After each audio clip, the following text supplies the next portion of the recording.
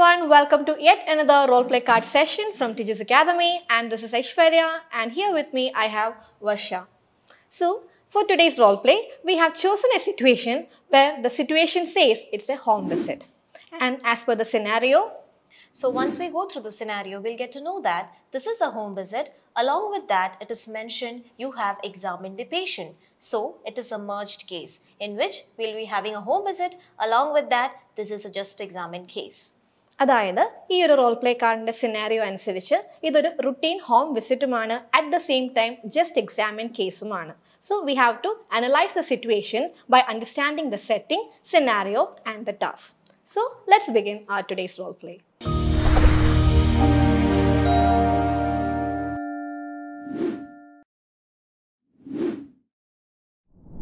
During the time of conversation, how can I address the patient?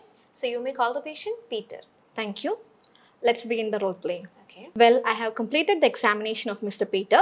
Before proceeding further, could you please tell me your name once again for the communication purpose? Oh yeah, sure. So you can call me Varsha. Thank you, Varsha. So, Varsha, let me tell you, I have completed the examination of your husband and I just want to know how you're managing the situation since my last visit. Well, nurse, so I've recently had to go back to my work. So I'm balancing being a worker and also a carer, and it's pretty difficult for me. So what I did is I kept a fridge and a microwave in the bedroom and leaves out the meal every day. But I'm really worried. I don't know whether this is enough. Well, Varsha, I can totally understand your situation at this moment. But let me assure you, you are doing your work in a very good manner. You are caring for your husband at the same time you're working full time. That is completely a difficult task, but still you are managing it in the best way. But as per the assessment of your husband, let me tell you, your husband require constant monitoring and round the clock assistance. So will that be convenient for you at this moment? Yes, nurse, I can um, completely understand the situation. I knew that eventually my spouse would require around the clock support, but I don't know what should I do for this thing. Yes, uh, your concerns are very much reasonable, but you don't need to worry. I can give you the suggestions for the same. Either you can arrange a full time carer for your husband or get an admission in a nearby nursing home. If both the options are not convenient for you, then let me tell you, you have to leave your work. Will that be okay for you, Varsha? Oh, well, so nurse, I'm so sorry to say that there is no way I can give up my job because, uh, you know, uh, I need money to pay the rent.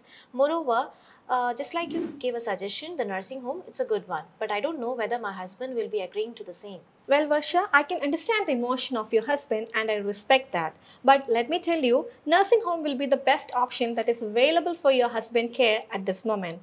Because if you're getting an admission in a nursing home, they will be providing your husband with the high level of round the clock care by the experienced staff. Well, Varsha, do you have any other concerns now? Yes, nurse. Could you please guide me to find a best nursing home for my husband? Yes, definitely. I can advise you with choosing the right nursing home for your husband. For that, please share the list of requirements for your husband care and the preferred visiting time as well. And if you want to, I can arrange a conversation with the nursing home staff or the concerned residents for your confirmation purpose. Will that be okay for you? Yes, nurse. So, Varsha, is there anything else bothering you at this moment? Well, nurse, could you please give me some suggestions for the nursing home so that I can discuss the same with my husband? Yes, definitely. I can share the contact numbers of nearby nursing home which you can discuss with your husband. Will that be okay? Yes. So, do you have any other questions for me? No, nurse. Okay, on that note, as per our discussion, you have decided to send your husband to a nearby nursing home because he requires the round the clock assistance and care. So, shall we proceed with that? Yeah, sure, nurse. All right, Miss Varsha. Then, on that note, let's wind up our conversation and we'll be meeting very soon.